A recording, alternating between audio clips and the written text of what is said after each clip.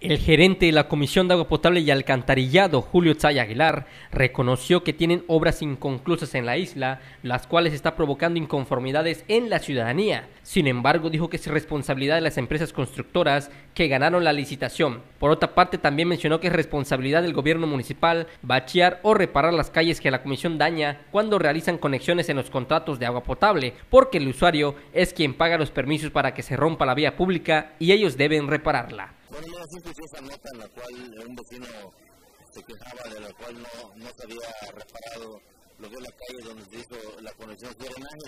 Puedo comentarte que este caso, eh, el ayuntamiento, por parte de obras públicas, ellos son los que cobran, eh, dan el permiso y cobran para que esto sea reparado. Obviamente, pues esto sí lo corresponde al ayuntamiento y no acá para repararlo.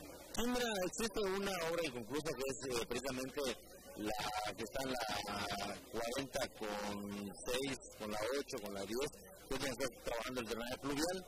Obviamente, pues ahí este, en sí ya nosotros ya lo reportamos a, la coordinación de obras eh, para que esto sea ya reparado o más bien terminado a la brevedad posible. Eh, estamos conscientes de que esto ha llevado su atraso. Bueno, eh, entiendo que ahí la constructora al parecer la que no ha dado pues terminado con los trabajos y obviamente pues ya eh, como capa pues del Estado pues hay responsabilidad de esto y esto pues vamos a estar viendo que se acabe la brevedad posible.